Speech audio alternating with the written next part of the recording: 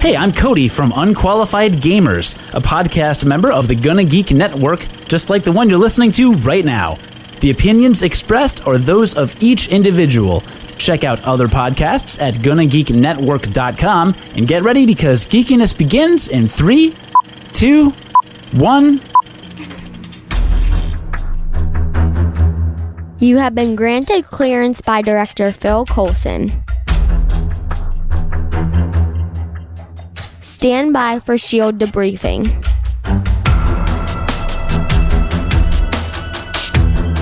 All information to be discussed here is classified and may only be discussed among agents granted clearance by the SHIELD Director. Now it's time for your scheduled debriefing. I'm Agent Stargate Pioneer. I'm Agent Haley. I'm Agent Lauren. And I'm Adam. Welcome to Legends of S.H.I.E.L.D., a Marvel Comic Universe podcast. This is podcast number 68 on Agents of S.H.I.E.L.D., Season 2, Episode 16, Afterlife. This podcast is recorded on Wednesday, April 8th, 2015. Legends of S.H.I.E.L.D. is a fan based podcast on the ABC television show Marvel's Agents of S.H.I.E.L.D., Marvel's Agent Carter, soon to be Daredevil, and the general Marvel comic universe. Because of family reunions. If you'd like to talk to us about your family reunions, you can contact us on our website, legendsofshield.com, at our voicemail, 844 the bus one. That's 844 843 2871. You can contact us on our Facebook, Twitter, Tumblr, and YouTube, all Legends of S.H.I.E.L.D., and our forums, forums.gonnageek.com or by searching Gonna Geek on the Tapatalk app. And welcome to our podcast. And Adam, welcome to our podcast again. Is this number two for you? Uh, yeah, number two for uh, Legends of S.H.I.E.L.D. Yeah, but you can be found at a bunch of different Gonna Geek podcasts, can't you? Well, I've been on one episode of Crimson Comet Yeah. so far. He's making the rounds. Hopefully, an episode of Starling Tribune this season, but I haven't talked to Wing about that yet. Yeah, just bug him and he'll let you on eventually. That's kind of what happened to the rest of us, actually. Well, no, he bugged us and then, okay, well, anyway. Yeah. but we're here to talk about Agents of S.H.I.E.L.D. And we had an episode yesterday, Afterlife. And as I said before, these episodes are just getting better, but I just can't wait until the end of the season. I can't wait till Avengers Age of Ultron and any tie in. Can't wait for this weekend for Daredevil. It's just a bunch of great stuff going on in the Marvel Universe. As for this particular episodes of Agents of S.H.I.E.L.D. Afterlife, it was written by Craig Tilty. And I happened to go onto his IMDb page and I was like, yeah, I wonder what this guy is. I think his name is Titley. Titley? yeah, you aren't a celebrity on Legends of S.H.I.E.L.D. unless I've butchered your name, that's for sure. Okay, but he has been the consulting producer this year on Agents of S.H.I.E.L.D. He was the consulting producer on The Cape. Hey. Yeah, he's written a couple of episodes this year of Agents of S.H.I.E.L.D., including The Writing on the Wall in Afterlife. Oh, he wrote Blue Shadow Virus and the Zillo Beast for Clone Wars. Yeah. Oh, wow. He's gotten some cred there. Yeah. And then this episode was also directed by Kevin Hooks, who, if you look at his IMDb page, if you just happen to glance at it, if you're like, huh, I just wonder who this guy is, it's like, Wow. holy crap. Executive producer on a lot of stuff and writer on a lot of stuff as well. I can't even. Uh, he did an episode of Alphas. He did a few episodes of Bones. He did 14 episodes of Prison Break, four episodes of, I guess, season three and four of 24. Did Alias. He did the TV movie of Sounder, which was one of my favorite books as a kid. Last Resort. Ha, three episodes of V back in the 80s. My gosh, this guy's been around for a Four while. episodes of Saint Elsewhere back in the 80s. He was he was an uncredited actor in Shallow Hal. Oh, wow. And I forget if you mentioned this, but he directed The Magical Place last season, oh, that episode. So, Yeah, a little bit of cred going on there. So we've got some really experienced crew for this episode, which was really great because the way it turned out was just fantastic. As always, if you're looking for a transcript of the episode, you can go to the lovely foreverdreaming.org website and check that out. But in the meantime, I, you know what? I think, Haley, you just need to let your tiger loose. Sorry, Star Pie. Tiger's been loose for a while. So, how do you think that was going? Did Coulson actually believe he was going to be able to bargain for that car, or was that planned all along? He had a suitcase full of cash. Do you think it was cash in there? I don't. I never saw the cash. Yeah. I didn't see the cash either, but I saw it later in the episode, I thought, at the cabin. Yeah, when he opened up the suitcase in the cabin, there was a pile of cash in there, and then he Oh, got oh, some yeah. other stuff out. I was distracted by the other stuff. There's a lot of stuff going on. You got to admit, the DIY Howling Commandos kit was a lot cooler than the cash. Yeah. Well, yeah. I mean, it was his to-go bag, right? Part of it, at least. Yeah, it's like most people's bug out bag or whatever it is is like, you know, extra clothes, first aid kit. His is, you know, holographic playing cards. I know which one I'd rather have. I kind of wanted them to be exploding playing cards, and it would be kind of like Gambit. That's what I thought they were going to be. Blame Fox for it not being that. I thought that they were going to be just like sitting there and when he was like, shh, I thought he was going to like turn back and then throw the cards at them. It was so much better than that. It was. I mean, this was just like the bro vacation between Hunter and Coulson going around, and Coulson's just pulling Hunter's string all along, right? He pulls the alarm while Hunter's asleep. So Hunter wakes up to the Quinjets going on, and he calls Deathlok, and he has no idea that. De- oh my gosh, Deathlok showed up! Right? Yeah. Right? He's here, guys. Yeah.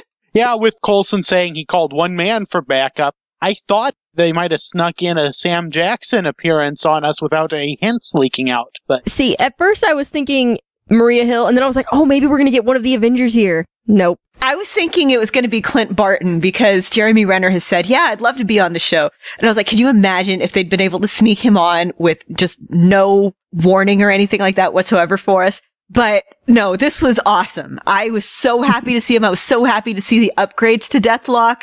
And then seriously, how many weeks has it been, Star Pie, that you were like, where's Deathlok? Yeah, it's got to be at least a month, month and a half. All season. Yeah. It's Yeah. like, where's Deathlok? We left him off at the end of season one, and it's like, oh, come on, the guy's roaming around out there somewhere.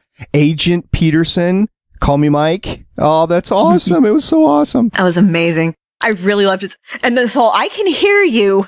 I love that. yeah.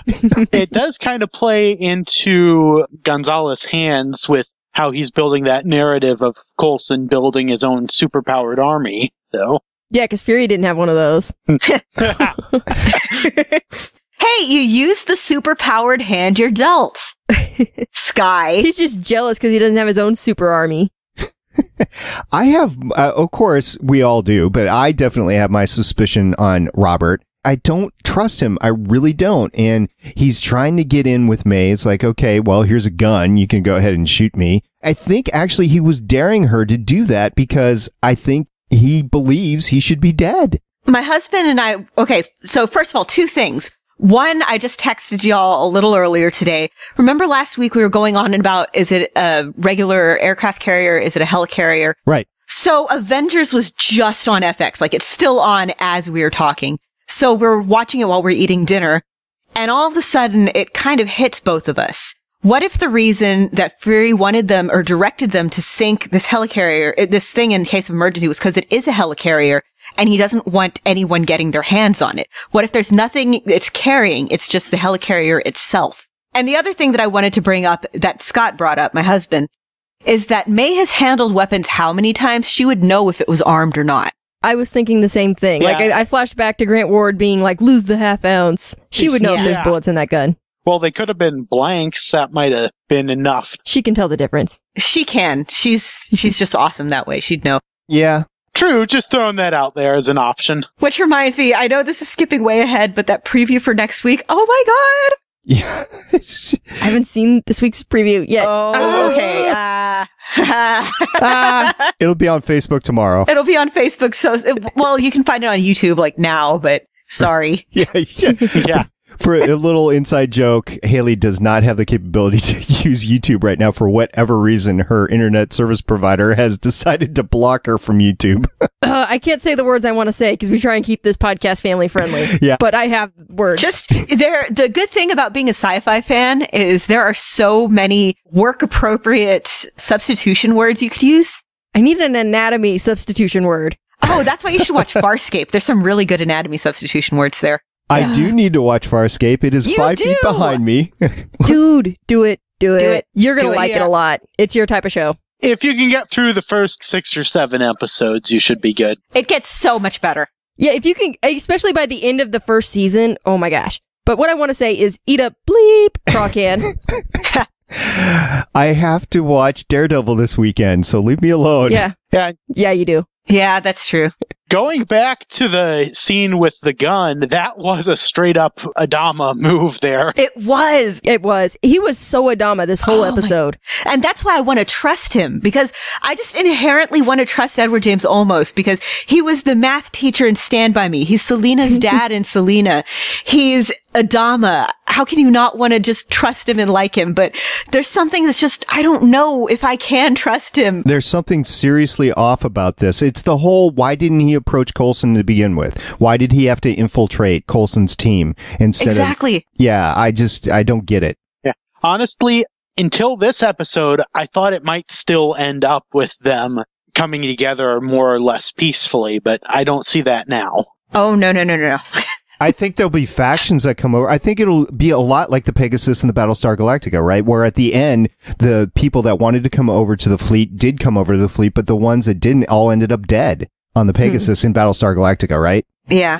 Yeah. Yeah. Well, Gonzales said his actions are leading us to a deadly showdown. And I'm like, dude, you started this whole thing. Yeah. I think Yeah. more Gonzales's actions. Like you busted down his wall, gassed his people. He's leading us to a showdown. Uh, Tried to take out baby Skye. yeah, jerk face. We didn't see um, Agent Calderon in this episode, did we? No, No, my guess is, he's fine. y- yeah, he- he'll be fine. He's still trying to find a big pair of tweezers to get the splinter out.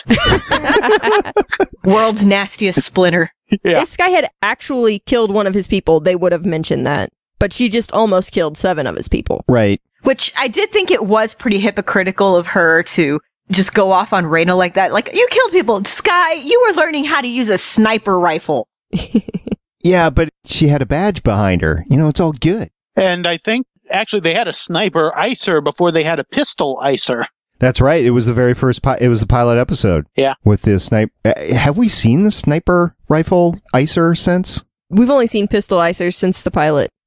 Okay. All right. Skye's magical acupuncture room with the white Star Trek like clothes on the table. Did anybody get that vibe from it? Yeah, did you see Chloe Bennet's tweet that those were real acupuncture needles? Oh no! Oh, No. wow. Yeah, she was like, I was lying there with like 50 needles in me. Wow. And everyone's like, wow, hardcore, man. I wonder if they were Yeah. LED needles or if that was added after the fact. I would hope that's added after the fact because that seems dangerous. Yeah. LED Yeah. needles? I don't know. Well, Well, you know, it could zap you and that would not be fun. Well, if she got zapped, maybe she would levitate off the table. That's comic books. Yeah, I did like Lincoln though. I have been bitten by spiders and caterpillars and injected by all sorts of stuff before, and I've yet to develop superpowers. So until that happens, I am not going to go through the zappy acupuncture. I have not said this yet on the podcast, but when I was editing the past couple weeks, I'm like, you know, Lauren is one bad lab accident away from being a supervillain. Okay, I'll tell you a quick story. It was a really nice day, and I was getting ready to go have to do some terrible work. And I saw a bunch of people in hammocks across the street from my car, and I glared at them, and one of them fell out of their hammock. And I was like, oh, I have superpowers. oh, that's funny. Yep. Now, but they call that place Afterlife? That's not ominous at all. nope, only good things could possibly happen here. Oh, of And course. the only way in or out is through Gordon zapping in and out. Yeah, I hope nothing ever happens to Gordon. Jeez. I'll be stranded there. Maybe there's only like one teleporter born into every generation or something. They're going to be eating nothing but kale and cold popcorn for the rest of their lives. And it doesn't happen until the end of the episode, but Skye's mom is there and she's alive. oh my god. Yeah, not entirely surprising. I think we did throw that out there as a possibility. Well, yeah, I've been expecting her to come back, But I was watching, I was so tired when I was watching this episode last night, and I like jumped out of my bed and shouted when she walked in. Me too. I know it was like 11:30 when I got to that point because I was doing the Gonna Geek podcast last night, so I didn't get to live tweet or anything. Well, I so missed that, by the way, Lauren. Thank you for doing that. and anyway, so I'm all of a sudden I was like, oh my gosh, it's Skye's mom, it's Sierra, she's there, she's there with the scars on the face and everything. So you know it's her. Yes. Yeah, I, I like that. Even if she does have like Wolverine style uh, rapid healing, apparently Whitehall Well- took it right to the limit. It's not really rapid so much as I would say is it took her like 20 years. Well, yeah, like 20 years. But when she first showed up, at first I'm like, okay, no, it's going to be a fake out. It's going to be a twin sister or something. But then they showed the scars and I'm like, nah, it's her. It is so her. What do you think And this then- is? Arrow last week? okay. So when she shows up and she sees Cal again, did any of y'all think that she was just going to, when he was like, can I see her? Did any of y'all think that she was going to say no and snap his neck? Because that's totally what I thought was going to I- happen. I, I- knew I- she was gonna say no. I didn't think she would snap his neck. Yeah. Well, the whole time she's treating him with this superior, like, okay, nice boy. I don't know why they keep him alive. I don't because he is not in control. Is it in deference to her? Is it because he has something they need? I wonder, is it sentimentality? I'm guessing we'll see at some point in the future, but just wow, that they, he was not in a good place this episode. He wasn't, I mean, he was Has he been? as an actor, it was an incredible scene for him, right? Because he's playing this I am so out of my mind. I am mad. I don't even know what day it is. There's not a window. Come on, what is going on? And then the realization hits him. It's like, oh, you found her. She's here. And, and it was like, oh, yes. Just seeing that switch, it was just, oh, I love that. It was the same switch as we saw a couple of episodes of the last time we saw him, right? When he's in mm-hmm. that same room and he's like, okay, well, I'm going to go see the elders. Well, I'm assuming you, we're going to go see the elders Right. or whatever. Yeah, So how long has he known that she's still alive? That's what I want to know. I know. I think just since Gordon took him there, probably. Okay. Well, because he says that he told her he would find their daughter, which makes me think it might be longer than that. Yeah. Yeah, maybe. oh, that's even more twisted. Yeah. But Skye doesn't know Right? that that's her mom, though. And how is she going to react when she finds oh out? Oh, man. Okay. But what Jiaying said to Skye, I'll look after you, train you, watch you grow. And if you don't feel a connection between us worth exploring, well, we never have to see each other again. Yeah. Oh. As an estranged parent, uh, you kind of have to go that route. Yeah. When we were watching it yesterday, we were pointing out that just look at what a complete 180 that is from how Cal was trying to handle. Cal was trying to force her. She's like, you love me. I'm your dad. Love me. Daisy, that's your real name. Yeah. And Jiaying is not even telling her that there's this relation between them. She's just going to let her see if anything develops. And if so, then maybe she'll tell her. And if not, then it's just as well. As far as Skye is concerned, though, didn't Cal mention to her that she was dead? Whitehall killed her mother. Yeah. He just said Whitehall killed her mother. Yeah. And by the way, Whitehall's still out there. I mean, we all believe that he's not dead. Okay, and then who else among those people knows that she is Skye's mother? Because I feel like Gordon almost definitely knows. I think Lincoln might know. Well, when she mentioned that she was personally going to be Skye's transitioner, did you see the look on his face? Yeah, Yeah, but I just assume that's because she's somebody just so respected in their community. right. Yeah, it could be. I'm not sure if he knows that it's because they're related. Or that he thought he was going to be the one to do that. That too. Right. I think he's still going to be involved, though. They didn't bring him in as a character just to brush him aside in an episode. Oh no, and they've hyped up too much the fact that he's joining the show for it to just be a one episode thing. And you didn't get your shirtless scene. yeah, Maybe next week. his shirt allergy hasn't taken effect yet. it takes a little while in China, right? Right. Yeah, the allergies have to set in. Yep. He has terrible pickup lines. I maintain. Oh, the puns. He puns Yeah. so hard. Yeah. Sky's the limit. I love a good terrible pun, but there is a time and a place. And that was not it. well, his puns can't be banned in China, at least. That's why it's a secret. Yeah. so he did make a big deal about Skye going through her Terrigenesis old school with the diviner at the temple. So how are they doing it for the people who qualify? Well, it's still Terrigenesis, right? Yeah, it's just, I guess, some kind of ritual, I guess, that everybody's, cause he said in the wild. So I'd imagine that there's some that are just kind of out there hidden that other people have gotten a hold of. And this is how it used to be before they formed this community. Mhm. So I guess now it's a much more ritualized thing. Well, I wonder if it's a more controlled thing. You know, they do it in a lab or a medical room or something like that. Mm-hmm. And they have some way of making some of the mist themselves then?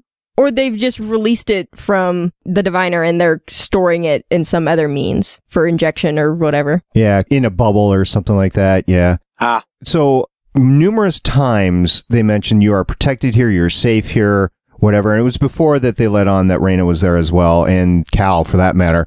But do you get the feeling that all Inhumans are coalesced in one unit? what do you mean? Mm, They're all thinking they're all part of one group, right? There's not splinter Inhuman groups. I don't know. They did say I thought that I could have misheard, but I thought they said that there might be other places, but they didn't know for sure for their own safety. Yeah, he said something along those lines. Okay, so you have separate groups, but they're all They're all connected. They're all like part of the same culture. yes, where they would all See, protect each other. I'm kind of wondering if there's another group that's been isolated for a long time, That they don't know about. maybe in a dome somewhere in China that they don't know anything about. Yeah, it could be. Yep. Gordon can go into some fantastic places. Yeah. Just like Lockjaw. Yeah, even though Cal can't talk to him eye to eye. Oh, What a dick. He really is. Okay. But when he was talking to her about Raina, I noticed that he chose his words very carefully, and I was like, oh, he's lying to her. Oh, yes. Lie by omission. I promise there is no one here who will harm you. I was like, oh, Raina's in that cabin. You are such a terrible liar. What's there? Oh, we don't use it anymore. Walk on. Oh, so that was the cabin that Raina was in? I thought it was the Yes. original red room or whatever. I thought it was either the cabin that Raina's in or where they were keeping Cal. Hmm, could be. Yeah. I feel like Cal's underground, though. I think that was Yeah. Raina's room. yeah, I'm not sure if Lincoln knows about Cal. You're going to want to keep Cal somewhere where he can't bust out of the room. And that building looked a little flimsy to me. Yeah. Also, I think it had a window. That too. Yep. Yeah, because maybe he could break down a Hulk resistant door like S.H.I.E.L.D.'s little battering ram could.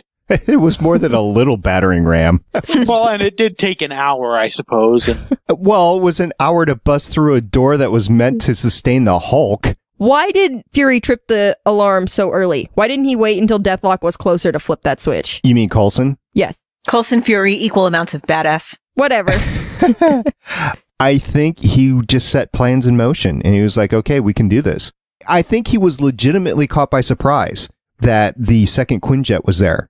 I do too. But even if it was just the one Quinjet, why not wait for your backup to be in position before you call in the guys you're trying to steal from? He is a very capable SHIELD agent, and Hunter has proved himself capable as well. I think the two of them could have pulled it off had that other Quinjet not been cloaked right there. yeah, and why didn't other S.H.I.E.L.D., why weren't they monitoring the cabin? Because they knew that Coulson had been there recently and probably would be trying to find Skye.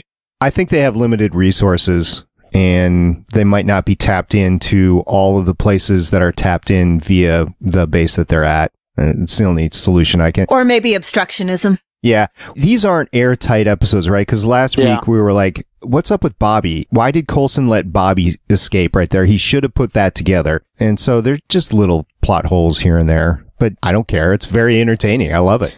Yeah, Richard in the chat has an interesting theory. He says that he thinks the second Quinjet was Bobbi's idea. Well, she was talking to Gonzales and she said, Coulson's too smart for this. He's got something going. Yeah. I think that after that conversation, they were like, okay, what is Coulson after? Oh, he's after a mode of transportation. He's after a cloak and he's after a faster way to get around, which would be a Quinjet. So I think they put two and two together there. They just didn't execute it as well as they could because they didn't know that Deathlok was going to be part of the equation. Yeah, because she does seem kind of conflicted now. She's getting more and more conflicted. Absolutely. Yeah. Okay, I have a theory. We haven't talked about it yet, but the whole bait and switch thing over the Oh. toolbox with Simmons and Fitz, that was excellently Oh, executed. Yes. Yeah. Science babies! Yeah, there you go. Yeah, I was worried at the beginning that she might have actually turned, and then I thought maybe she was just trying to drag it out, make it take a long time, but that, I didn't expect that. See, when Fitz was looking at the picture, I was thinking he's figured out that she's rigged it to blow up or something. which is why I was like, oh no. Okay, when I watched it through the second time, taking my notes, I noticed the conversation that Simmons and Bobbi had about it, and I wasn't entirely sure what side Simmons was on. I'm still not because they were talking about how to open it, right? Mhm. And Simmons was talking about, well, we are shield agents, so she might have converted over to the Adama shield or Gonzales shield, whatever you want to call it.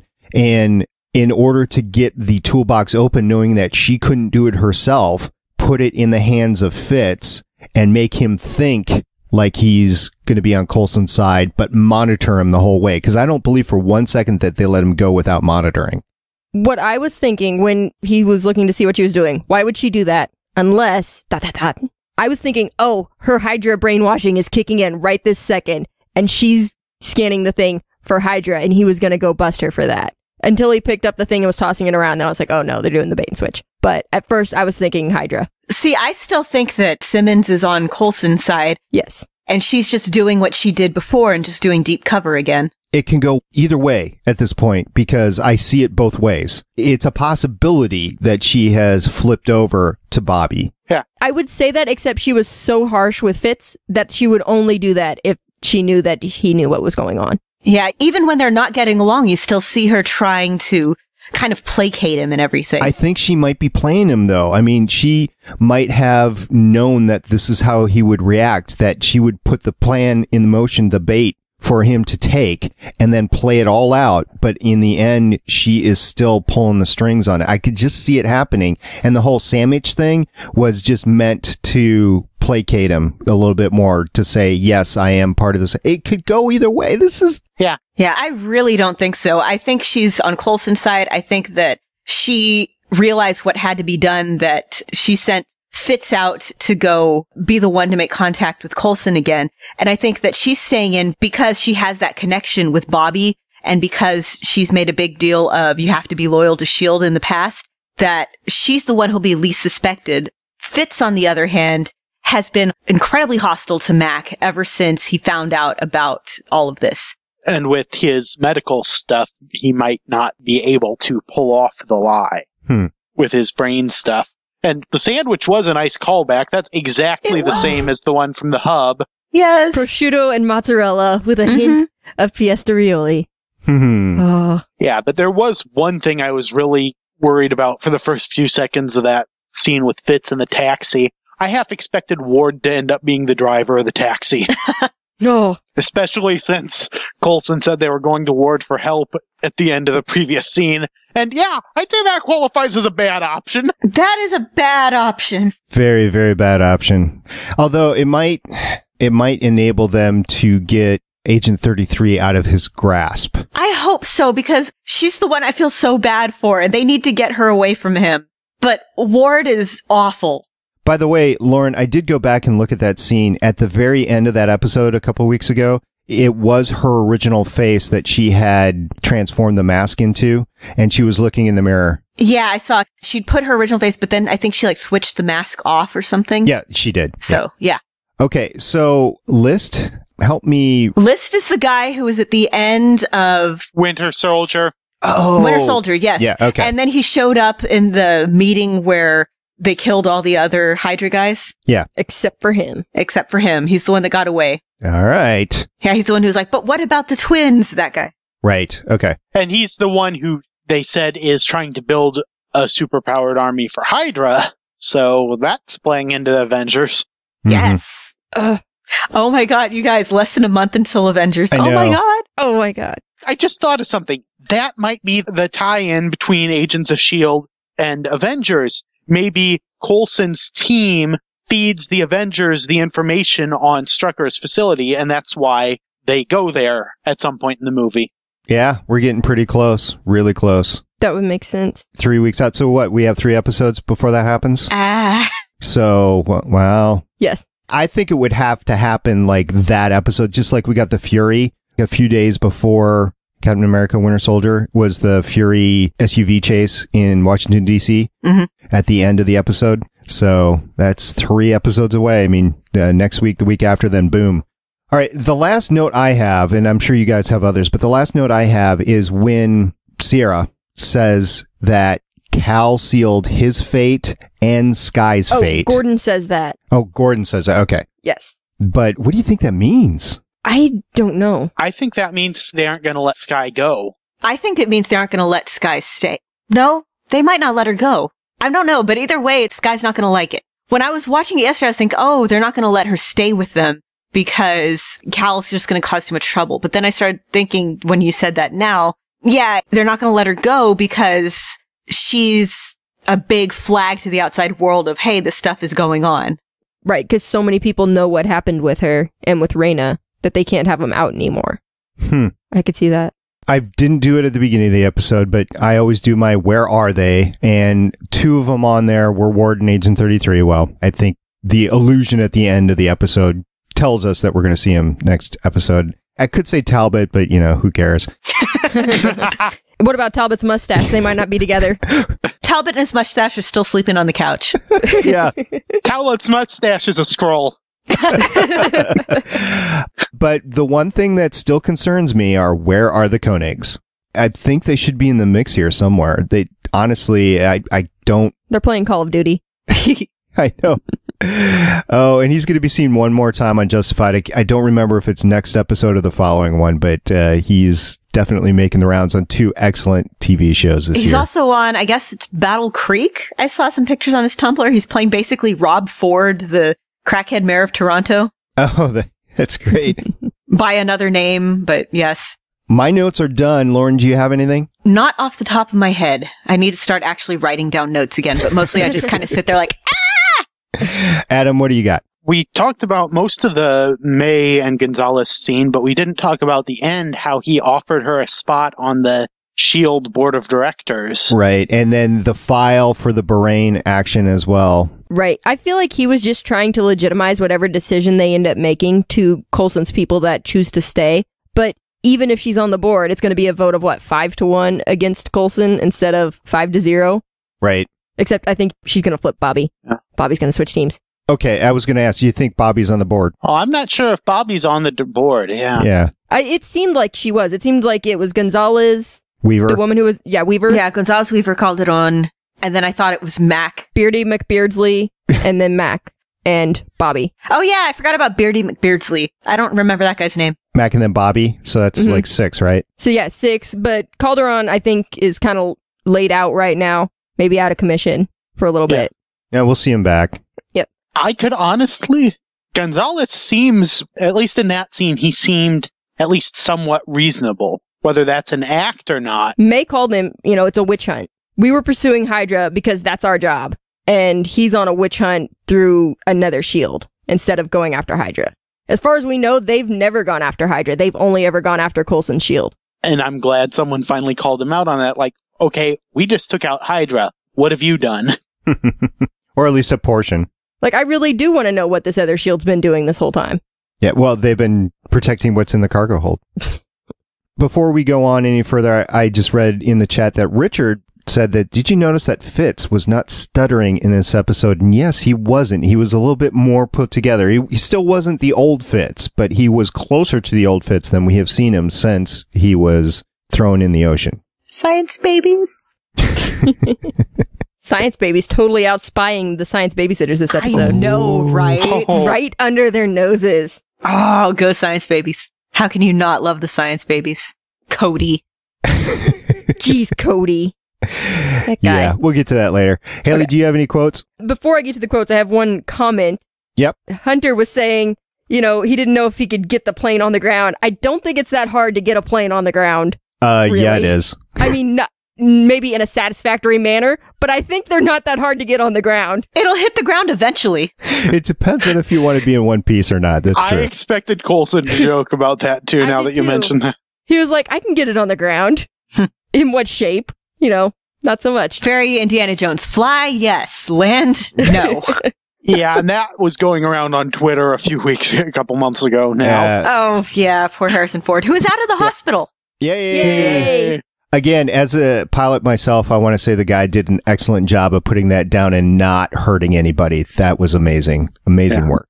Okay, Haley, you got some quotes. Yes, I do. You should have brought cupcakes. yeah, I know. I forgot to mention that. It came around a couple of times. Bring cupcake. Hey, you know what? He should have brought May a cupcake. She would have killed him with it. yeah. I don't think it would have helped. No. I woke up naked on a table in a place no one can even point to on a map. So call me crazy. You were totally naked. yes, she was. I mean, there was paper. if it doesn't count in a doctor's office, I guess it doesn't count in a weird acupuncture. Am I the only one that saw the similarities to multiple different Star Trek scenes on that? I guess so. I think I got Star Trek on the brain. There is, It, it's just, it was very sci-fi y. yeah, okay, Like, not even a specific show or universe or anything, but it's just very sci-fi. fair enough. Yeah, I mean, it reminded me of something. I couldn't put my finger on what it was. Well, the next generation had Riker on a cloning bed like that at one point in time. It was in the original series a couple of times. Yeah. Yeah. So See, it reminded me of a gynecologist's office, but with more needles. yeah, and I go into so many OBGYNs. Okay. Okay, I just, I stumbled across this other note. It's not a quote, but Skye tried to vibrate Raina apart. yes. Yes, she did. She tried to use her powers to kill her. Yeah. Yeah. And thus was born at least five fanfics. yeah. True. I think that's lowballing it. Uh, that's the definition of this podcast, though. Lowball, right? That's why I said at least. That's all the quotes that I haven't mentioned already. Sky's the limit. All right. I, I forget who it was that said this, but someone called Gonzales the love boat captain. Oh, Hunter did. Hunter. Probably Yes. Hunter. Yeah. It was Hunter. that was great. Yeah.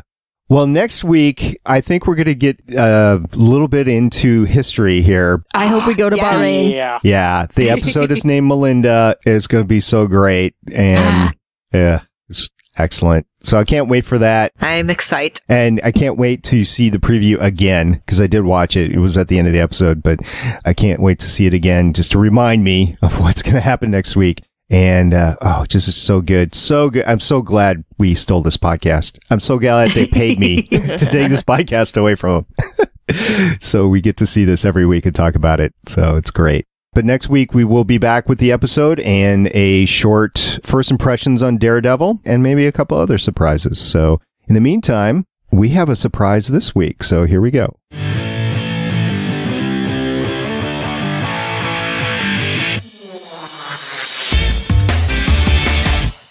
Alrighty. We do have a surprise. Haley actually traversed. She went out on an assignment and she went to PlanetCon Comic Con and she actually went to a couple of relevant panels and one was very relevant this week because it was J. August Richard who plays Deathlok, Mike Peterson. And while she was at there, she recorded some audio and we have some clips to play. But before we do that, do you want to preface the panel with any opening thoughts? I will say this was the last panel of the con, and it was right after Stephen Amell. Stephen Amell was only there for like 12 hours that day, and that was the only time he was there. So it was packed. The room was packed for his panel. And then as soon as he went back out to sign, the room emptied out because everybody ran to get in line for his signature and pictures and stuff.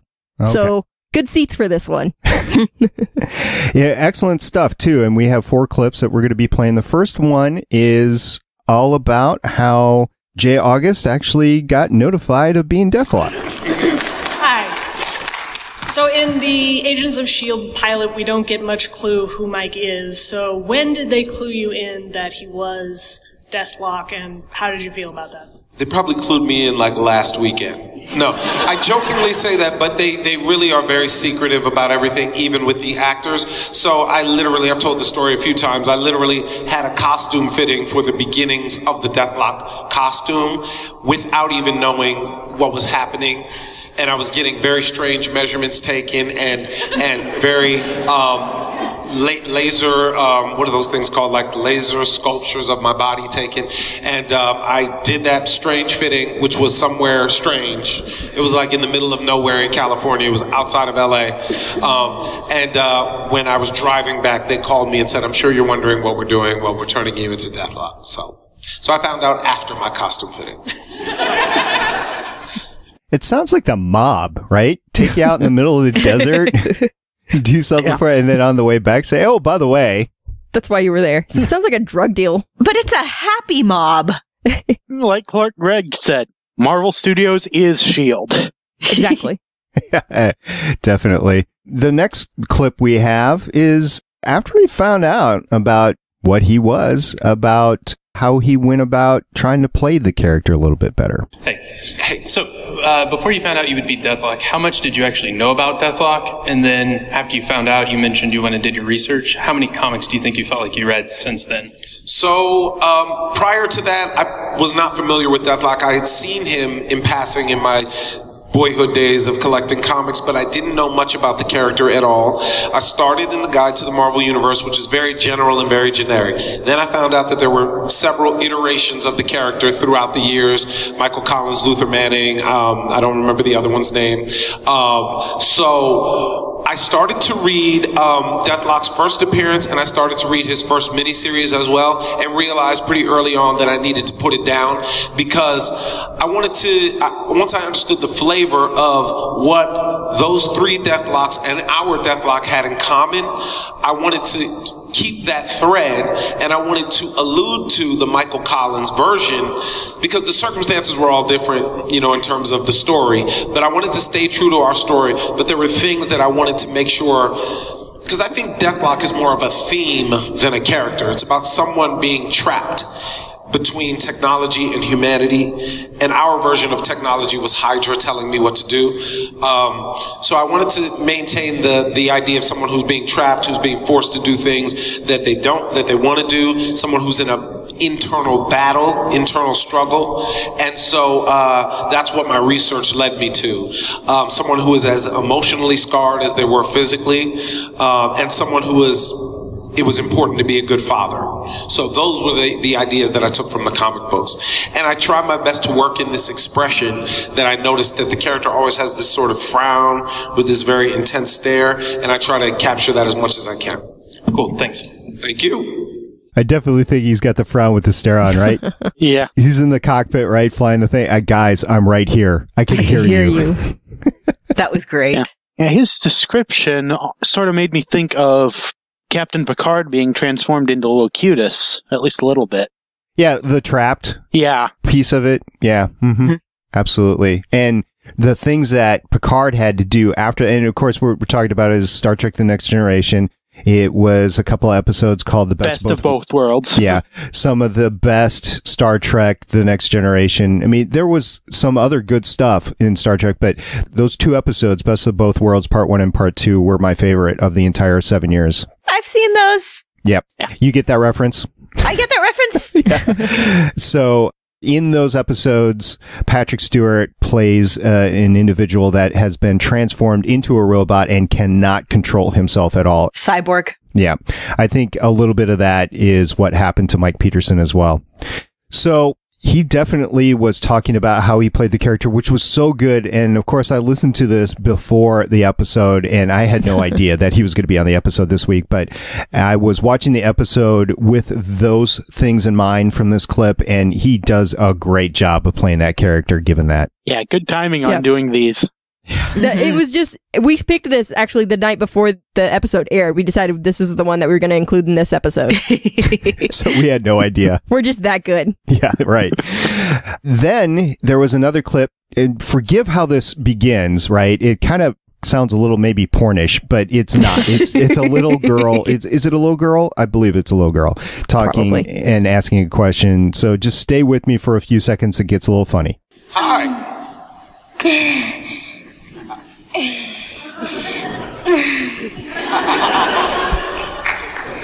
What was your like favorite moment of for like what you did with Agents of Shield? Like what was your favorite scene? I guess? That's a good question. That's a really good question. I had a lot of favorite moments. Let me think about this for one second. There were so many. You know what I really loved doing? I loved doing the scene in the very first episode. Do you remember when the building blew up in the first episode and I climbed up the wall? Well, I, that was my favorite scene because I rehearsed that scene for two days before we had to shoot it, where I climb up the wall. And um, it was it was so much fun. Um, they had a stuntman there for me that day, and he did it a couple of times. And they didn't need for me to do it, but Joss was like, you know, do you want to try it? And I was like, yeah, I've been rehearsing it for two days. I might as well. And um, it was early on in shooting the pilot, and um, the camera was on this big crane, and um, I just did it, and it worked out, and it was so cool, and it was just so much fun because I felt like a real life superhero in a lot of ways. Thank you for your question. I thought that was cute. Yeah. Yeah, there were several times throughout the con where little kids would go up with questions and then, you know, they'd get there and they're so nervous they can't talk. Or adults too, really. But right. Say, I meant to ask you if there was one question you could ask because you didn't ask a question, at least not that I heard. If there was one question that you could have asked him, what would you have asked? him in particular, I don't know. It, honestly, it probably would have been about Buffy and not about Agents of S.H.I.E.L.D. right. just because he has such a, a longer history, or not Buffy, but Angel. Angel, he has such yeah. a longer history with that than he does with S.H.I.E.L.D. at this point and with Marvel stuff. hmm But it, it- most of the time, I didn't feel the need to ask a question because the questions I would have asked, you know, somebody else would have, and I'll just stay there and get my good audio. Right. He did answer some questions about his appearance on Arrow. He answered a lot about Angel. So it wasn't just about Agents of S.H.I.E.L.D., but we do have one more clip about Agents of S.H.I.E.L.D., and I think you all are going to like this one, especially how it ends. I did love the whole relationship between Deathlok and Skye, and now that she's Inhuman, would you love a Skye Deathlok team up? Hey, that would be so dope. But you gotta watch out for her power, though. Her power's a little messy right now. I'm gonna need her to get it under control. Because I don't wanna be feeling like I'm in an earthquake every time she, you know, is trying to get the guy over there and I'm standing next to her. I don't wanna feel all that. So I can't wait for her to be able to zoom her powers in. And, you know, let's give her some training and then she can join Deathlok in a mission. No, but I love Chloe so much, and, and she was actually, her and I worked together on the first day of Agents of S.H.I.E.L.D., so I feel like she's Mike's best friend on the crew. So, um, yeah, I would love for them to team up and take Ward out. I always say Mike and Ward have an anti bromance. Everybody wants to take Ward out. He's so fun to hate. He is, isn't he? Oh, everyone hates Ward. Yes, everyone hates Ward. It's a new TV show. But I really love when he's saying like, yeah, she needs to get that power under control because yeah, I don't want her cramping my style. it's a little mess- messy right now. Oh, so great. I do want to see them team up again though. That'd be I great. know. Yeah. I want to see more of Mike. Like, he can just be on the team permanently now. That's fine. Yes. Yeah, I think that's where we're going. I think if he had been around at the beginning of the season, it would have been an instant dynamic. Like he would have been the silver bullet to come out and actually do everything. So Yeah, it would have made it too easy. I like that we're having him back now for the end because he can just be super awesome all the way through. They don't have to come up with a reason to nerf him or the reason he can't go on this particular mission or anything like that. He can just wrecking ball the other shield. And we didn't talk about it in the episode, but I love his new mods, especially the one that took down that Quinjet. Uh, yes. That was awesome. And obviously cheesy CGI, but it was so good. It was so fun. The little rocket electrical thing that didn't kill anybody, but took the Quinjet down. That was awesome. Almost like a amped up version of Black Widow's things from Winter Soldier. Yeah, and I was wondering where his mods came from, and they might have indeed come from Tony Stark. So we'll see. We will see. Or it could have just been Fitz. it could have been. You know, there's a lot of good science people around. Matter of fact, we're going to see another one this summer with Ant Man too. So you, you never know. So thank you very much, Haley, for going and getting this audio. This was a blast. I will put a couple more clips on at the end, so stay tuned. It's a little teaser for you. Stay tuned and you'll listen to some fun stuff. But in the meantime, we're going to move on. And but before we do, I just want to take a little note to say if you're a Walking Dead fan and you haven't checked out the Walking the Walking Dead cast, you really should. They did the season 5 final cast and in an all-American edition of The Walking Dead this week because Steven had to bow out. Steve Boyd and Chris Farrell give their take on the season 5 finale of The Walking Dead named Conquer and go check it out. Check out what they think of this crazy finale and you can get your fill of The Walking Dead as you march towards the new spin-off series later this summer.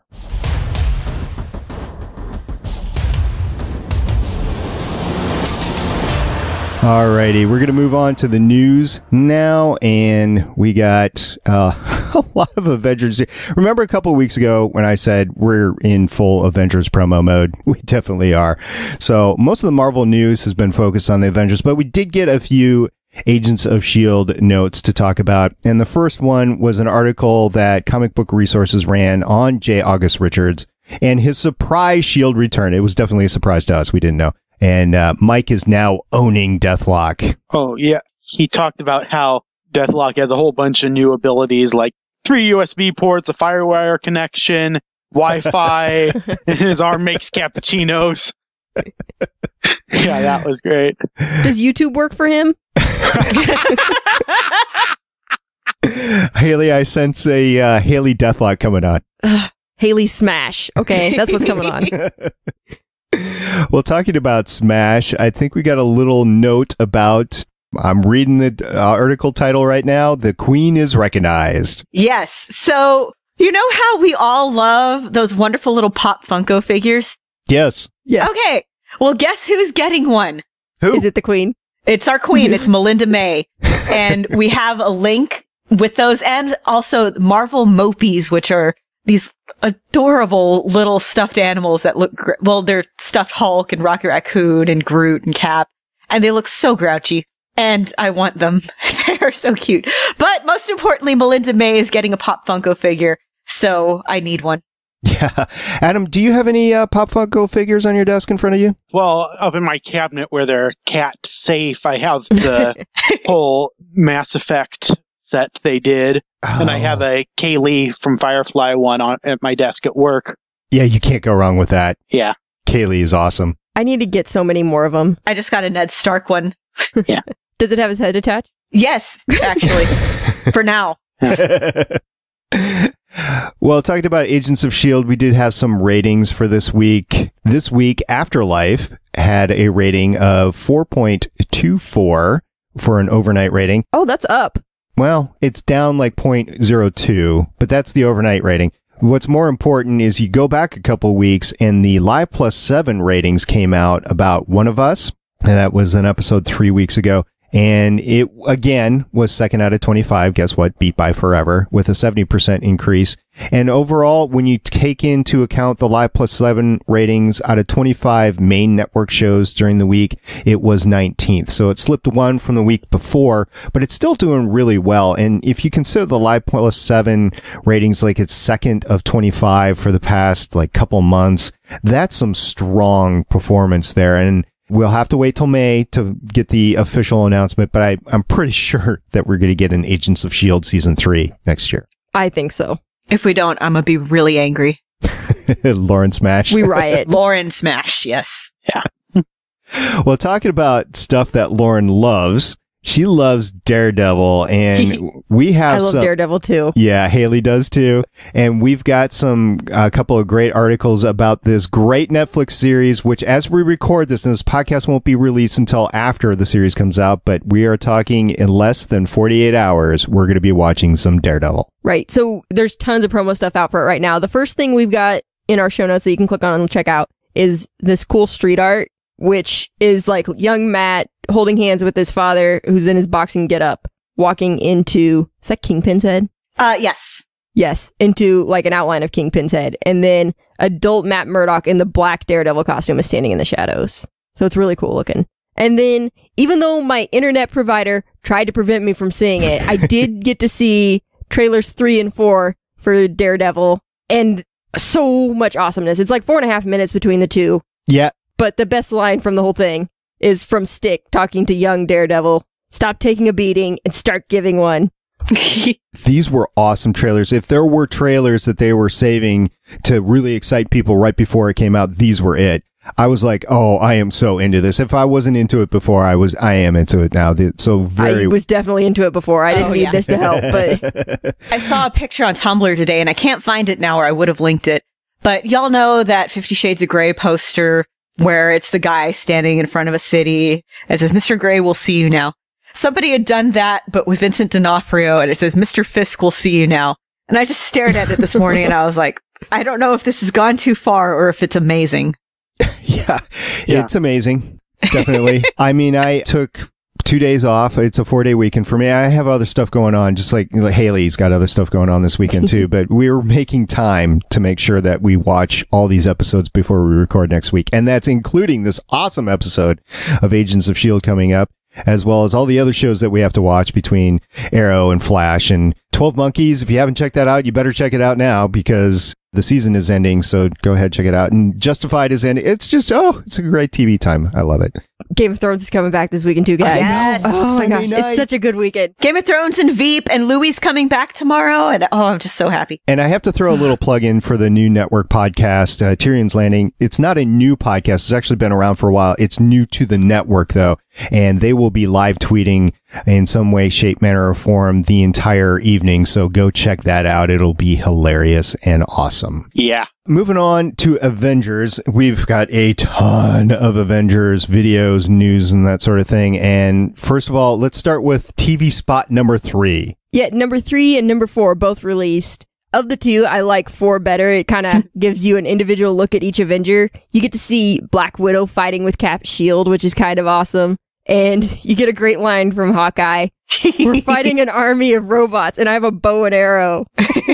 That is the most Hawkeye line. I love it. Yeah. Guys, it's coming so soon. I'm so psyched. oh my God. And even though stupid Croccan tried to prevent me from seeing these TV spots, I saw them. I found a way, made it happen, and you guys should too. Yeah, you should see all this stuff that we're sending out this. If you're even remotely, if you're not Wing, basically, you need to check these out because Wing's not excited about this, and that's why he's not on the cast right now. Boo, Wing. But we've established Wing is wrong. so Yeah, I think every one of us on the podcast is firmly in belief that Wing is wrong about Avengers. Mhm. There is also other stuff that we're not going to be talking about. There's a featurette trailer reassembled, reassembled, Stephanie. For those of you don't get that, that's Johnny Five Short Circuit. So go check that out. But also, we have a little story. Adam found this on Age of Ultron 3D glasses. Yeah, so apparently they're doing some limited edition 3D glasses for this. No Hawkeye ones, but there are seven to choose from. Ultron, Iron Man, Vision, Captain America, Thor, Black Widow, and Hulk's eyebrows, which really need a team up movie with Talbot's mustache. I really do. And Adama, too, Agent Gonzales, right? Yeah. yeah, Yeah. but his is real. Yeah. So they all look pretty cool. I don't do 3D movies because I have regular glasses, but these do look pretty cool. I don't know if I want the Black Widow ones or the Thor ones. I haven't decided whether I'm going to try to see this in 3D or not. I do have an eye problem. I won't go into it too much on the podcast. Go ahead and hit me up. I'm free to talk about it. So it's not like I'm hiding something or whatever, but I have an eye problem that prevents me from really seeing 3D. And I tried Tron Legacy a few years ago to see that in 3D and I had the worst headache possible. And it's not just a headache. It's actually a vision problem that's causing it. So I don't know. I are collecting these glasses a big thing now. I, since I don't go to 3D movies, I don't know. Not really, but Marvel's been doing these with the past couple. Like, I know they did it with the previous Avengers movie, and I want to say there's a couple of other movies that they've done this with, but no, it's, it's not really like an every week type of release thing. Okay. Well, Lauren, you also have a trailer to talk about. Yes, the uh, Age of Ultron official final trailer, which I don't remember why I chose it right now, but it's a, oh, I remember why I chose it. Yes. Remember when we saw that clip of the claw looking thing and we were trying to figure out what it was? Yes, yes, yes. Well, yes. whoever said, I think it has something to do with Hawkeye, looks like you're correct. If you go and you put it around a second seven to about second eight, you can see Hawkeye pulling out the thing and Yeah, it looks like it might be a sheath of arrows for his quiver or something like that. Yeah. So congratulations, you were correct. But other than that, it's just kind of more of what we've seen with people throwing things and people being awesome and Witty one liners. yeah, witty one-liners, Scarlet Witch on a motorcycle. But yes, that was the scene that I felt it necessary to bring up because you were right. Black Widow in a lot of these trailers definitely came on strong at the end. I have to say that whoever's doing the promo was saving kind of that for the last. Um, maybe not the best, but Uh, what are you talking about? Yes. well, I don't. I mean, different people have different likes. Whatever. I think it was great, yeah, especially with the motorcycle giving Cap his shield back. He's like, "I'll pick up after you." Okay, so we've seen that before, but then we see what happens after that. And it's awesome. Yes. So also, we talked about this Ultimate Marvel Marathon before, which none of us are going to do. Because we're old. Because we can do it ourselves with our own scheduled bathroom breaks, yes. our own snacks. Pause button. Yeah, couch, sleep, in between movies is great. We can, you know, rewind and replay in a continuous loop the part where Hulk smashes Loki. Yeah. Puny god. yeah, but apparently there is some things afoot at the El Capitan Theater. Yeah, here's a bit of incentive in LA. The El Capitan Theater is going to have special guests. It's presented to you by Nerdist Industries and Cheez-Its and Kellogg's Rice Krispies Treats. I love me some Cheez-Its. Uh, so do I. They're good. But Chris Hardwick, along with other Nerdist talent, will host the event with help from special guests. Who, which special guests? They don't say. So if you want to go, you'll have to find out. But they're also having costume contests and snack breaks and meals and just collectible things available, prizes, giveaways. So this sounds like an event.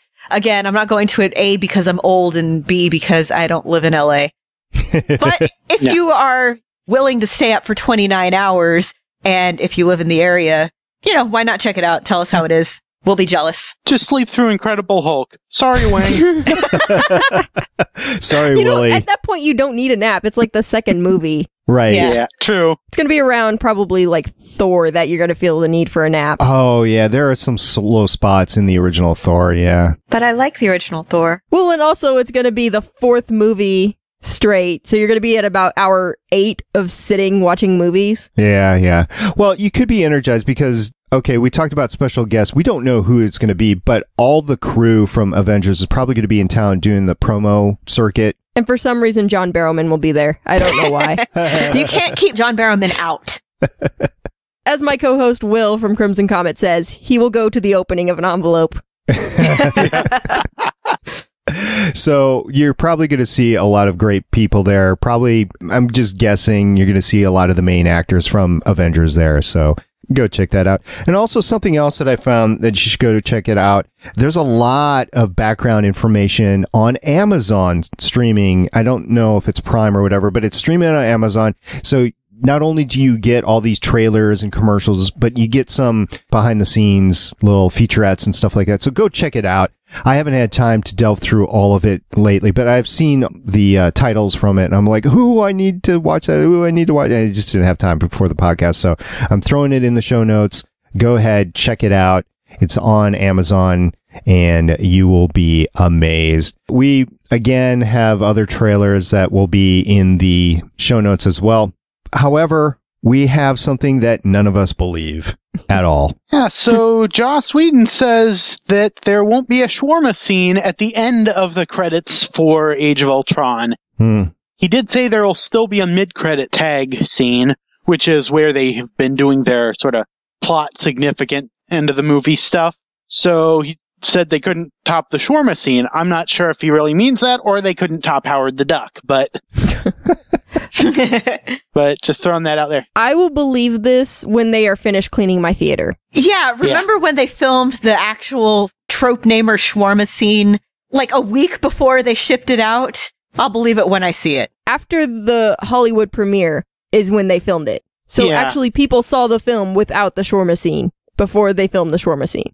Yeah, and th- this article also said that Captain Marvel won't be introduced here.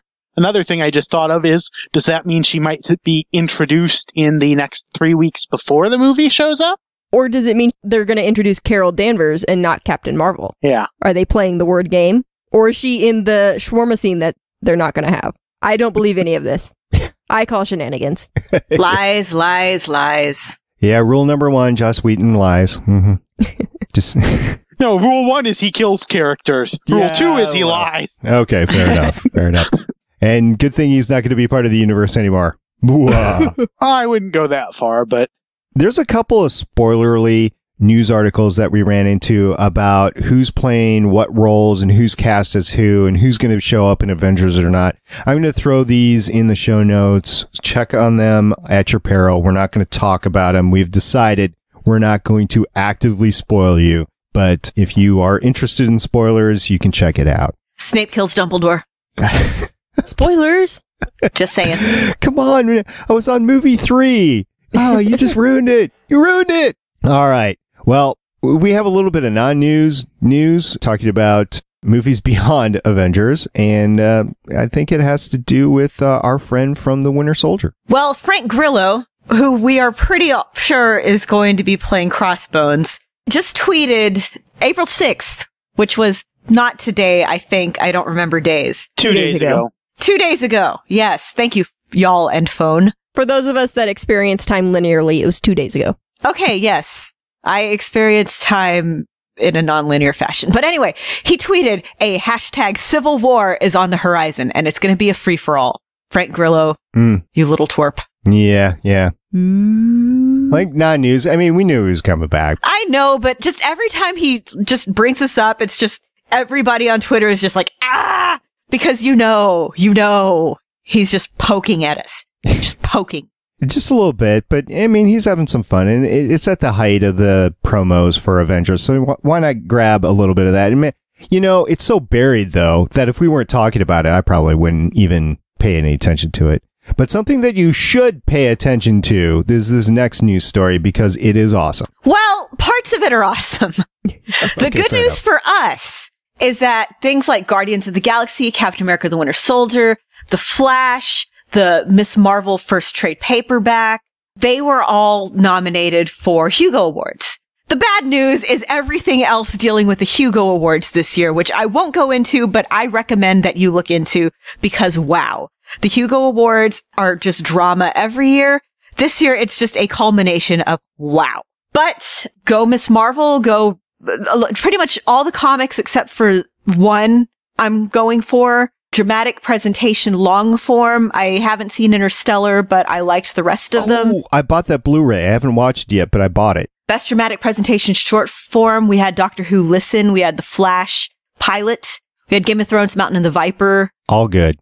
We had Grimm Once We Were Gods, and we had Orphan Black by means which has never yet been tried, which is honestly, much as it pains me to say that one is probably the one that I'm going for.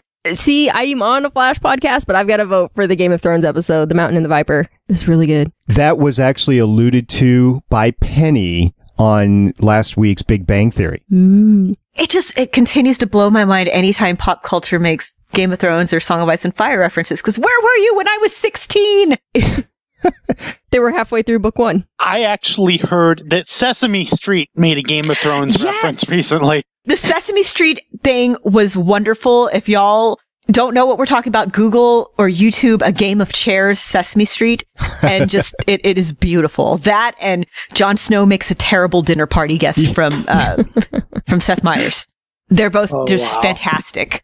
Yeah, so I don't know who's going to win, but we'll see. And the Flash pilot, by the way, I know you said you wanted to go with the Game of Thrones, but the Flash pilot was awesome to see. And, It was. and I'm so glad that the, it kind of leaked early, but uh, it was just, it was fun to watch. Yeah. Honestly, these categories out of all the Hugo nominations are probably the, the ones that were the least, let's say, cluttered up by certain factions in the Hugos this year. Yeah. Things got very shady. Hmm. Yeah, there's a lot of drama going on there. Imagine that. Io9 and the Mary Sue and Salon all have very, very well written up articles on it. Pretty much every author, sci-fi fantasy author you follow probably has a blog either written or coming about this. George R. R. Martin just wrote one today.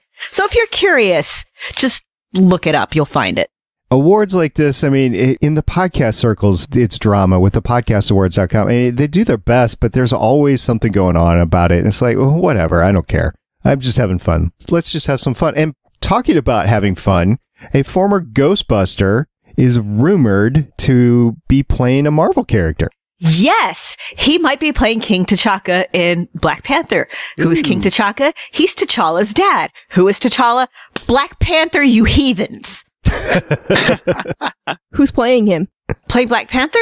No, T'Chaka. We didn't say who's playing him yet. Oh, Ernie Hudson. Yes. Sorry. That's, I thought everyone, okay, sorry. Yes, Winston Zeddemore from Ghostbusters. He's in pretty much, he just shows up in geek things just constantly. I mean, you said a Ghostbuster was playing him. It could have been Bill Murray for all I knew. It could have been. Okay. Sorry. I'd, I'd pay to see that. Bill Murray in the Marvel universe. Yeah, that'd be funny. Uh, that'd be hilarious, especially in that role. But yeah, Ernie Hudson, the guy that wants to tell you about the Twinkie. Yeah. Yes. Excellent casting. Yeah, he's been in so much other stuff besides Ghostbusters, and he's good in pretty much all of it. And he's a regular on a lot of con circuits. He's a nice guy. So I don't know. I think I could see this. This will be interesting. But yeah, it's just a rumor for the motion. But still, it'd be cool. Yep. And something else that's cool and I've been waiting to see for a very long time and waiting to purchase is the rogue cut of X-Men Days of Future Past. Right. We talked about it when the first DVD and Blu-ray set came out months ago now that there was going to be an extended cut of the movie and it came out recently that that extended cut is going to have 17 minutes of additional footage. And I still haven't been able to find an exact release date for when that's supposed to come out, Yeah, it wasn't in the article. but it is coming. I remember hearing last year, they're like, oh, it's going to be out next April. So it's April. Come on. Yeah. Where's my rogue cut? They're probably waiting for all of the copies they made of the theatrical release to sell first. Well, I'm not buying one. I'm waiting for my rogue cut. Ditto. Same. Yeah, same here. I have been patiently waiting. But which, by the way, apparently this weekend, the HBO movie on Saturday is Days of Future Past. Ooh, So Saturday night, mm. got my date. HBO. Me and HBO are like this. It's this time of year. Well, yeah, and another fun thing, I guess, is we've somebody's actually seen some um, Deadpool suit running around on a set. we are seeing a lot of the Deadpool running around on sets. Just Jared has put up a whole bunch of pictures and it looks honestly really good.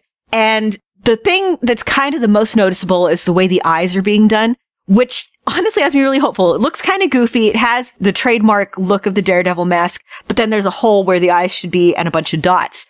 What people are thinking and what this honestly makes most sense is that they're going to CGI it so that we can get the comic booky facial expressions. Ooh, that'll be fantastic. Right? That's going to be wonderful. I, I'm starting to really look forward to the Daredevil movie. Something that I would not have pictured myself saying four years ago. Deadpool, you mean? Deadpool. Yeah. What did I say? Yeah, she's excited. She can't talk. yeah. What did I say? You said Daredevil. Oh, I'm excited for that too. it's all happening. There's a lot going on right now. It's all happening. And I'm doing a Kermit flail, but you can't see me. Yeah. Do you ever wake up in the morning and think it was all just a dream? And then you realize it's real? No, constantly. I am in a constant state of this is actually happening. How is this real life? Game of Thrones is on TV. All of the Marvel is happening all the time, and I'm married. How is this happening? Like a grown up. That's weird. I know. I was thinking I'm old right now. Yeah, like I was I actually think because I hurt myself in the gym on Monday and I went to the gym today and I couldn't work out as well as I did. I mean, I cut out half my workout. And I'm like, oh, I'm old. This sucks. And then I'm thinking, this is great. I mean, the Tron casting was announced. I'm a sci-fi guy. And I'm like, oh, the Tron is going to be back. You've got Olivia Wilde and uh, Garrett, uh, Hedlund. Hedlund is coming back. And so Tron is filming right now, I believe, up in Canada. And you've got just all, a bunch of stuff happening. And I'm like, oh, this is just so cool. And comic book stuff is happening. And it's so cool. And talking about comic books, actually, we've got a comic book expert. Well, we always have a comic book expert on the podcast because Haley and Lauren are here, but we also have an additional one on the podcast today, Adam, and uh, he's run into uh, Shield number four. So tell us about it. So it just came out today, so I wasn't sure if I'd have a chance to read it before this because it's the only one that's running currently that I actually get physical copies of. And this one has the Invisible Woman as the uh, guest superhero. Yeah. Unlike last month, we actually do get someone from the show other than Coulson in it. Simmons has a few scenes. Still not much of May or Fitz, which is disappointing, and they don't have one of those Fitz and his holographic monkey Hmm. comic strips at the end of this one. I was wondering about that since they transitioned from the monkey to the dog in the show. Yeah. Oh, I had a thought. Yeah. Maybe Fitz will get a monkey and then the monkey will get a puppy. Ah! helper monkey gets helper puppy. Exactly. Yeah, but this issue did have some pretty good art, including some good frames of Coulson. Okay. Not my favorite, but better than, but I liked it more than last month. And next issue has Scarlet Witch, and then issue seven, they're finally bringing Quake into it. Mm. Yay! It'll definitely be fun. I did see it drop in the Comixology app because I subscribe to it. This one, I just haven't had a chance to read it. So, Yeah. looking forward to that. Also, If anybody has signed up for the Marvel Crate, by the way, I got an email because I signed up for it and they said, uh, we're going to have to cancel your subscription because there was something up with PayPal or something like that, that they couldn't take subscriptions. So they canceled everybody's subscription. So I'll still get the first crate, but then I'm going to have to re up for it. And they said, don't go back and re up for it because we have to fix whatever was wrong. And I haven't gotten another email saying, hey, come back and subscribe. So can't wait for that first Marvel crate. That's going to be next month. It's going to be awesome. And I actually have another comic thing that I tried calling in a few weeks ago, but ran out of time on the voicemail. Ah, dang that two minute limit. So I was looking through. Unlike Haley, I don't go back all the way to the 60s to start reading stuff on Marvel Unlimited. I just. Wait a minute. She actually goes all the way back to 1925 in DC. 1935. Oh, okay. Unfortunately, DC doesn't have something like Marvel Unlimited, at least that I'm aware of. That's true. But a while back, they had a sort of featured hero thing on Quake, and that led me to a series that I'm pretty sure has been the playbook for a lot of Agents of S.H.I.E.L.D. and to a lesser extent, Agent Carter and a couple of the movies. There's a series called Secret Warriors that ran from 2009 to 2011, and stop me when this sounds familiar. After S.H.I.E.L.D. is dismantled, Nick Fury puts together a team that includes Daisy Johnson to keep other organizations like Hydra and groups within the U.S. government from taking advantage. I remember that. That was the one that had like Phobos on the team for a while, wasn't it? Uh, yeah, yeah, actually. Yeah, I remember. I read a little bit of that. Yeah, and the first arc was called Nick Fury, Agent of Nothing, which Agent of Nothing was a line they used a few times in the episode Providence right after well, the one after, the one after Winter Soldier. and one of the Fury's bases in the comics is Providence. And first arc ends with Fury's team breaking into a Hammer base, which was sort of the government's shield replacement, and getting into a sort of three way fight with Hammer and Hydra and stealing a couple helicarriers. Yeah, because you can like steal those all the time. Sort of like the team in this, towards the beginning of the season, broke into it U.S. Army facility and stole a Quinjet to get cloaking technology. Yep. So there are other teams that are introduced later, including the Howling Commandos, which has Sitwell in it, not as a Hydra agent, one led by Alexander Pierce, and one that included John Garrett, who was a cyborg. and then in one of the later arcs, they revealed another group that they were fighting named Leviathan, based in Russia. That is, I think, where Leviathan was first introduced. Yeah. Yeah. Well, we Yeah. were wondering about that, and that actually turned out to be a fun story for Agent Carter. Yeah, and I still, I think I have like a third of the issues to go. I think there were like 28 or something, but I have to mix that in with all the sort of six months delayed releases, weekly releases on Marvel Unlimited and all my DC pulls. So takes a while sometimes. Awesome. It's always awesome to talk comic books because I just need to get into them more. That's for sure. Yeah. Comic books are happiness. I spent a good chunk of my day today reading the uh, current run of Miss Marvel, the one with Kamala Khan. Oh, yeah, that's fun. Yeah, that one is a fun one. I read as much as I could last night before I couldn't hold my eyes open anymore. I know. It's generally what I generally just plop into bed and pass out. So yeah, it wasn't a whole lot. And actually, one of the Marvel Unlimited releases this week was the Spider Man issue she was in, where she was talking about Spider Man fan fiction and shipping and stuff. Yeah, Kamala Khan writes fanfic. She is awesome. Of course she does. Ugh. I can't wait till I catch up. that was a lot of news. I think we're going to even see more Avengers news next week. So just be prepared and we will talk about that. In the meantime, on the weekends, you can catch all things good and nerdy. It is the live Sunday morning podcast on the Gonna Geek Network starting at 11 a.m. Eastern. And this past week it was episode 153, Internet Disaster Day. Anthony's internet was dead. Naki's was spotty, but don't worry. Chris got some reinforcements for this cast. Wing and SP were back to save the day. Woohoo! I saved the day. Yeah. hmm And help fill in the gaps. Wing, of course, talks Batman. Yes, he did. And Chris brings in the knowledge on how to run Android apps in the Google Chrome, which was interesting, by the way, because you can do Instagram that way. And Naki tells us all about the new Guardians of the Galaxy porn parody, which we didn't talk about in this podcast, but you could go and listen to All Things Good and Nerdy and hear about it.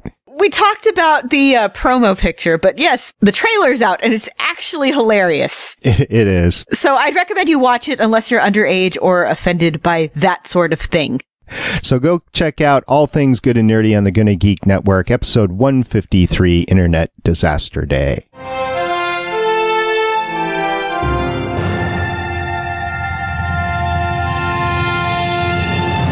As every week, we got some wonderful feedback from you guys. So thank you very much for getting in touch with us on all the means Twitter, Facebook, writing reviews on iTunes or YouTube or whatever. We really appreciate that. And to start off our feedback this week, we have a tweet from our pal Cody, who lives a short, like 12 miles away from me. At player type zero says, unpopular hashtag agents of shield opinion that at legends of shield will hate. I'm not a big fan of the science babies. Boo. You're dead to me, Cody. So, former pal. Boo Dead this man. Oh, Cody, you owe the ladies something to make up for them. You might as well buy them like a baby Groot or something because, yeah, We can be bribed with Pop Funko figures, so there you go. Did you say can or can't? Because I can. I said can. okay, yes, yes, that's true. Yes, I can too, by the way. The only Pop or cheap. Funko Yes. figure I have right now is the Marty with the uh, DeLorean. So looking forward to my next Pop Funko purchase. Mary Kirk at Geek Kurt on Twitter said, We called it Science Babies Plan featuring the return of Semich." Yay! That was part of the live tweet that Lauren, I actually, when preparing for this podcast, I went through back all the live tweets. You guys were having some fun last night. There was much rejoicing. It was great. I know, blowing up my phone, and I couldn't check it because I hadn't seen the episode yet. I know, I know. It is live tweet. It is spoilerly. I mean, we try not to, but y- I mean, heck, I you're don't try watching when the I do episode. it. Yeah, right. Yeah, I try not to be spoilery. I try to just mostly be like, woo, and put bad jokes and stuff. But sometimes it happens. I try to avoid it, but sometimes it happens. Yeah, this episode it was hard to avoid. Hey, I didn't post the spoiler. I didn't post that Deathlok was back. So, Yeah. What about Sierra? although then Marvel was, I didn't post that either, I don't think. Good job. But then Marvel was like, if this spoiler doesn't uh, start trending, then y'all are doing it wrong. So then I felt a little guilty, but I still didn't. I know. I was looking at their Facebook post today, the Marvel Facebook thing, and they said, spoilers. Don't read this unless you've seen the episode last night. And in the title, it was Deathlok. I'm like, come on, guys. yeah. Hashtag fail. Okay, consultant op also tweeted us and he said, I believe your Deathlok question was answered. Yes, sir. Yes, it was. Thank you very much. Been tracking that for quite some time. I'm glad to see it happen. We actually got a late voicemail to the podcast and I'm, I don't know. I really haven't had a chance to listen to this. Do you think we should play it? Mm, I don't know. It's from Willie D. Nelson. Oh, right then. I guess. You sure? Okay, here we go. Hey, fan and friend of the show here, Willie D. Nelson. I have a few things to say since I've been out for the last couple of weeks, but I finally called up and I have some stuff to talk about. First thing, I wanted to call in so bad two weeks ago and say that I thought that cabin looked just like the one at the end of the excellent movie, The Incredible Hulk. It probably isn't the same one, but it looked eerily similar to that one when he was over there meditating on the floor. Had a little crooked smile like, yeah, I'm starting to like being the Hulk. And, uh, I kind of got a theory here, guys. Stick with me now. I feel Gonzales is part of Hydra. I don't know quite know what it is. There's just something about it. Like I don't think he was defending himself from being attacked, and when we saw it in the past, I don't think he was doing that. But uh, that's my theory out there, my loose base theory. And uh, at the very beginning of the show, with the whole Honest Eddie's thing, I saw when they drove off, they had a license plate on the vehicle. I thought dealers only had dealer plates little small thing, but I thought I'd share that a little bit too. And I, I'm also, I guess that wasn't Attilan they blew up earlier. I thought that, I was like, no, they blew up Attilan. So it was just some random Kree temple. Glad to hear about that. And man, they got me up to like the last, like minute and a half. I was about to say, I really hate Simmons. Screw Simmons. Team Fitz all the way. No more science babies. Down with the science babies. Rah, rah, rah. But I guess they're working together. I can accept. I don't really like the way Simmons has been acting, but I'm still team Fitz all the way. And uh heard you guys talking about some Firefly going on. I know, uh, Skye's dad can definitely sing the Firefly theme song. Take my love, take my land, take me where I cannot stand. You can't take the sky from me. He's looking for a sky, and I, I, I kind of like, uh, Mr. Hyde over there. I like his storyline. And just to say, my favorite Firefly episode would have to be Jaynestown. Just because of the theme song and how crazy he looks in it. Jayne's my favorite character. So anyway, enjoy your guys' podcast. Keep putting them out and I'll keep listening. Willie D. Nelson out. Have a good one. Thank you for the voicemail, Willie. Actually, it was a couple when we were able to splice it together before the podcast. The cabin looked like in a the similar one at the end of the Incredible Hulk. You know, it could actually be. It could be the a similar set that they used. It also looked like the cabin that was used in several sets of Stargate SG One. So I really not sure. It might just be a common thing. I don't know. Well, I doubt it's in Vancouver, so I don't think it's the uh, SG1 one, but That would be kind of amazing if that's the cabin that he's at at the end of Incredible Hulk. yeah. Yeah. And I didn't think that he was in contact with Shield until Avengers and and those inner walls were definitely the same as the holding cell on the bus. Hmm. Yeah. Yeah, I wasn't sure if he was t- talking, if Willie was talking about it was the same actual cabin, like somebody owns it somewhere, or if it was like the Hulk proofed room. I, I wasn't sure. Maybe we'll hear from him on that next week. The theory, though, Gonzales is part is Hydra. Yeah, I, that's definitely a possibility. I don't think we can throw that out right now. I think it's a possibility. I think it's more likely though that he's just gone too far in one direction and that he just won't trust Coulson and it's gonna blow up in his face. Initially, I thought that he could be Hydra too, but I'm starting to think that, yeah, that's exactly it. That he's just been so burned by not trusting that this is what, where he's at now. So he's definitely doing an Adama move there, huh? Yeah. And last season they were basically teasing Hand being Hydra the or at least some kind of villain the whole time. Right. And she wasn't, so No, it was Sitwell. It was Sitwell on her team. It was Hydra. Yeah. Honest Eddie with the license plate. The Jeep was actually owned by Honest Eddie. It was not a car for sale. So that's why it had a license plate on it. Um, they didn't blow up Attilan in that it was just a random temple. Yeah, I think we've mentioned that before, but we didn't know for sure. This might have confirmed that. I don't know. But then again, would you think that the Inhumans would know what Attilan was? They might have stories about it, even if nobody has ever been there. Mm-hmm. Maybe a legend. or maybe this was the original Attilan and then there and then the faction that's going to be in the movie made a new one or something. hmm Yeah, we talked about the whole Simmons Fitz thing. I'm disagreeing with, I think, everybody on the. po- Science babies forever. Yeah. Science babies forever! I think there's a possibility there, and I'm just going to leave it at that. And then uh, Firefly, yes, all hail Yeah. Firefly. Yeah, I did think of that same pun with Skye and the Firefly theme at the end of last week's episode and tweeted it, but Yeah. And then moving on on YouTube, we got a nice comment from Liquid Camus. Said, uh, "Nice podcast. I'll follow it from now on." So, hey, Thank you! our YouTube channel is being used. Yeah, that's great. Hi, Liquid Cadmus. Do you guys have any other feedback that you want to add for the week? Nope. All right, we'll walk it on out then.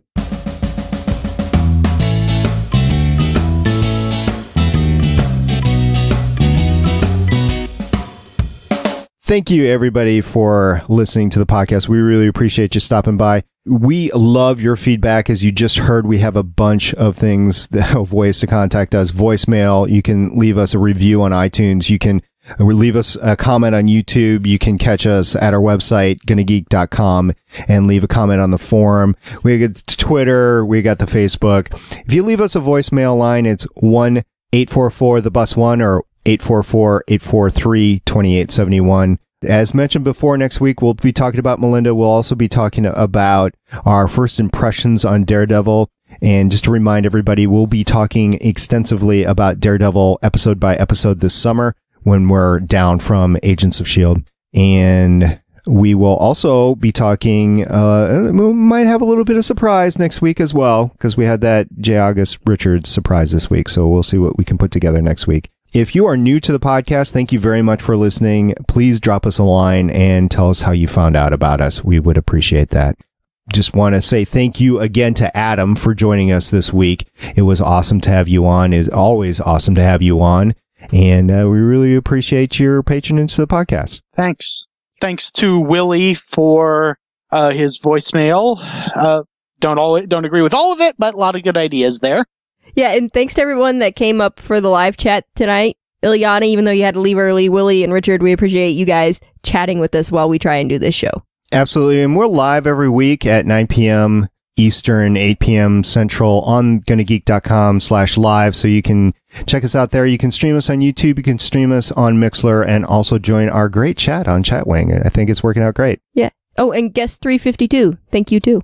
Yeah, there you go. Thank you for everyone who's commented to us on Twitter this week, whether it's on the live tweets or as you are watching or just randomly throughout the week because you saw something that, you know, and thought of us. A set, Mr. Paracletes, Richard, Willie, Ileana, Mary Kirk, just everyone. Thank you so much. We really, really appreciate it. Except for Cody. and if you haven't checked out Lauren's live tweets, if, if you're watching the episode and you're not, you, you don't have tw- your Twitter app open, you really should because Lauren is is one of the most amazing live tweeters. I think Haley and I combined cannot reach the greatness that Lauren does when she live tweets. So it's really fun just to play along. I like uh, watching it when I can and uh, seeing what Lauren has to tweet. And also, I want to say thank you very much to everybody that's listening on YouTube. And go ahead and leave a comment. We appreciate it. And uh, we do uh, appreciate you stopping by at any of the places that you can listen to us. So, until next time, I'm Agent Stargate Pioneer. I'm Agent Haley. I'm Agent Lauren. And I'm Adam. Bye bye. See you guys next week. Bye. Later. Thank you for listening. If you want to leave us feedback, go to gonnageek.com and you will find all of our contact information and other shows. You can also visit legendsofshield.com where you'll find our complete archive of podcasts. The music heard on this podcast is by Kevin MacLeod and can be found at incompetech.com. The opinions heard on this podcast are those of the individual host and do not represent Legends, Stream, or Gonna Geek. Agents of S.H.I.E.L.D. is the property of the Disney Corporation. No infringement is intended.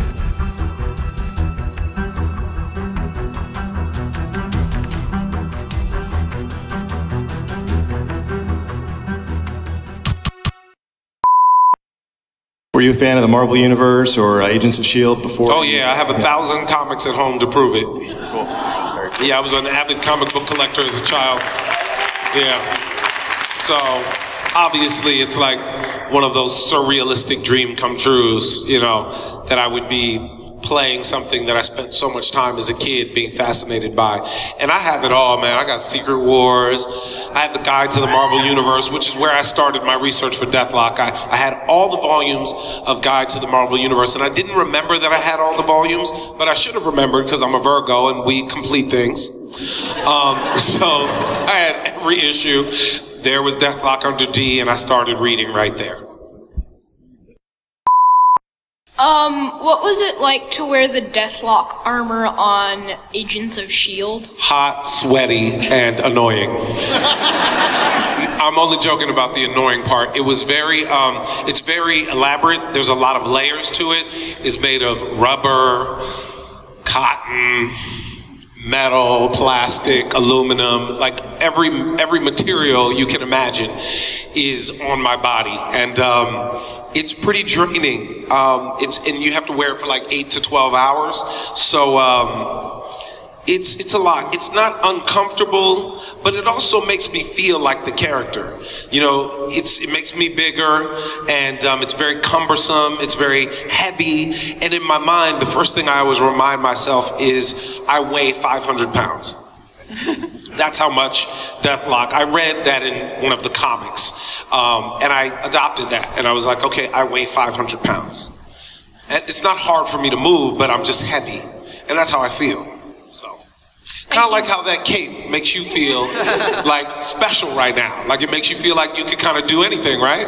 That's what a cape does. Even if it's a towel and you throw it on your back, it makes you feel like you can fly, you know? So that's how the costume is. It makes me feel like I can fly. Thank you. I believe I can fly. Sorry.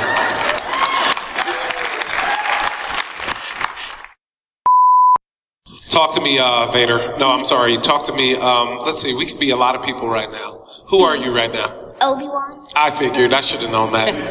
Um, Lame. in, a- in Marvel Agents of S.H.I.E.L.D., were you surprised when Ward was actually with Hydra? Yeah. I was surprised and I felt betrayed. I felt betrayed, quite frankly. Were you surprised? Yeah. Yeah, it was pretty surprising. I didn't see that one coming at all. It was a big surprise. So, yes. May the force be with you.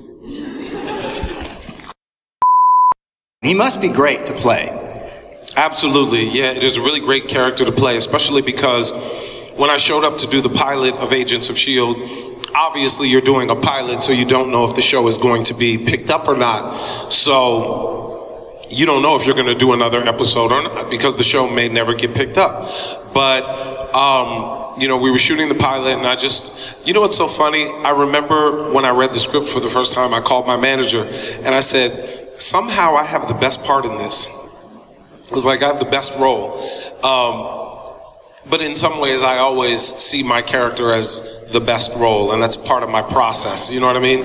Just like falling in love with the character, and I really fell in love with Mike pretty quickly and his story and his relationship with his son. So I always think about the first time you see a character, it kind of tells you everything you need to know about the person.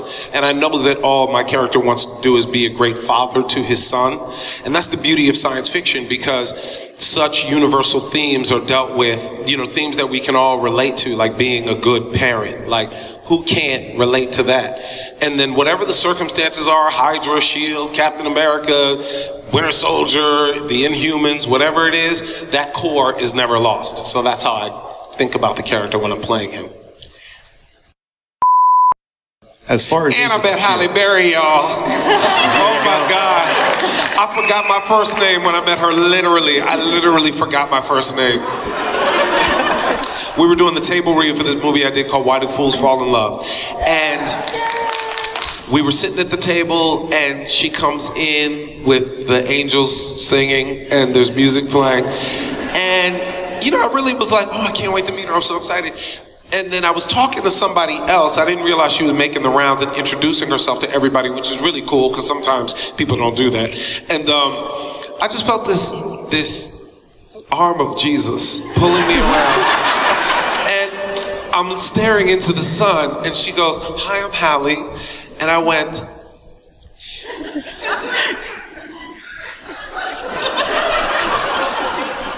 It starts with a J, I think. And I was like, I'm so sorry, but I just cannot remember my name right now. And she was like, You're cute, that's cute. Flash forward to many years later, because when I first met her, I was in my early 20s, right? Now I'm in New York, it's like I'm 33. You know, I'm living there doing another show called Conviction. And in the tabloids, they have these pictures of her every day. And I'm looking at the tabloid pictures of her, and I'm like, This looks like my street, the street I live on in New York. And I'm like, I wonder if we live on the same street. And then I figured out, yeah, we live on the same street. So I was like, I'm gonna bump into her any day now. I can't wait.